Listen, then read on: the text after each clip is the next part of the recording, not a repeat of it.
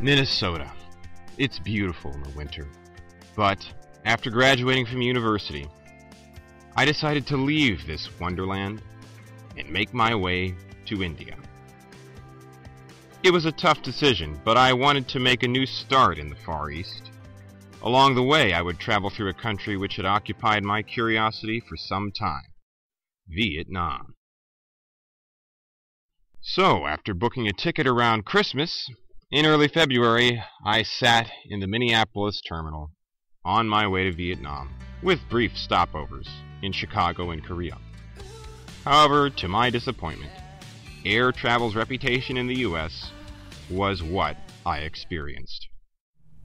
Well, it's morning on the 3rd of February, and right now I should have been winging my way to Korea. However, due to a number of problems, snow in Chicago, and a particular airline who used to be based out of Minneapolis having a number of repeated mechanical problems and delays with their aircraft, I missed my flight. And I came to a peculiar land known as Los Angeles. And as you'll see in this strange and peculiar land, although it is the middle of winter, there are these this, this peculiar green stuff there upon the ground, and these pole-like structures with um, more poofy green stuff on top. There's just green, green everywhere. It's like I don't know. I I don't understand it. Where where's all the snow? I left Minneapolis and it was zero degrees Fahrenheit, but here it's like it's not even winter. A most peculiar phenomenon. Green in February. Hmm. Following this amazing discovery, I went back to the airport and, in short order, was soaring my way to Korea. So, been in the air for a good several hours, and the 747, it's been long but smooth, and the service has been really good since I left the United States. And I would say, in spite of the fact of being delayed, I was going to go through Chicago, and then I went through LA. Then I missed my first flight, so I had to stay the night in LA. But I was put up by the airline, so it was all, all in all pretty good. So um, I guess uh, it's been been fine. In fact, I even got a exit row seat. This is very important to get all this nice.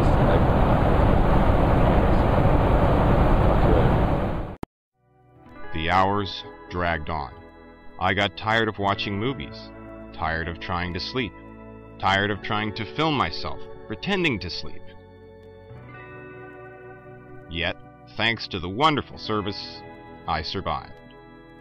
And the next morning found me waking up in a dingy hotel in Saigon.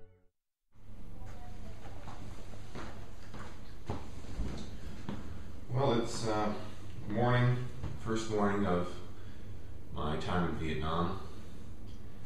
And as you can see, I'm in a bit of a, a dive of a hotel. So I'm going to go run around, try to find some breakfast, and take my first look at the city of Saigon. Should be interesting. I forayed out, taking my first view of the Nam, in what is called the backpacker district of the city. Already I began to notice a few interesting things. Senior citizens exercising in the park, a lovely cathedral was nearby, the excellent wiring system, characteristic of all Vietnamese cities. And the buildings seemed to have been patterned after me, tall and skinny. A few hours later, I caught a taxi and headed over to my preferred hotel, a nice little place, reasonably priced, and by coincidence positioned right in the heart of Saigon. This was lucky for me, because I so happened to come to Vietnam at the end of a holiday whose name is seared into the memory of many Americans. Tet.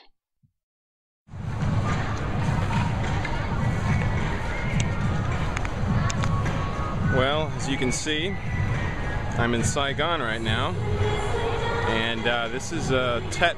I don't know if you can see, but this entire street has been blocked off, and um, just a lot of people walking around, taking pictures and enjoying themselves.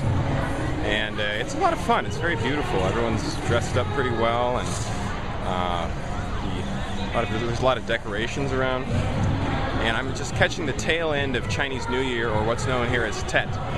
And uh, Tet's the most important uh, holiday in the Vietnamese calendar.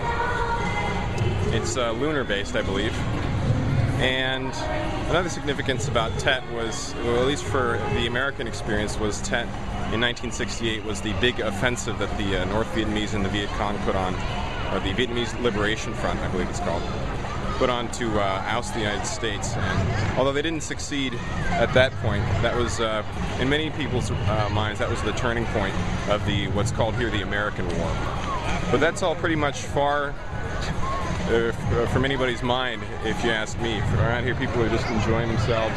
It's a rather warm day for, for me, but I think it's actually uh, the, the cool season for Saigon. Anyways, um, I'm gonna look around, show you a bit more. I'm just glad I was able to come. It's been a, a nice vacation, and um, so far I'm having a good time.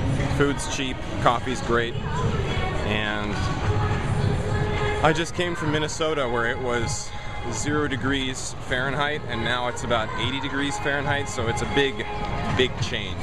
From four feet of snow to this. Get a load of that.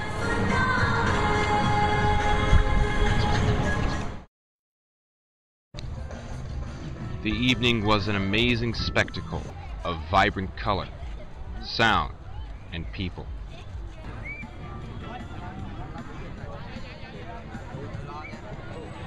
Crowds of people packed into the main boulevard in their holiday best, posing next to the holiday decorations, seeing the sights and being seen, welcoming in the new year.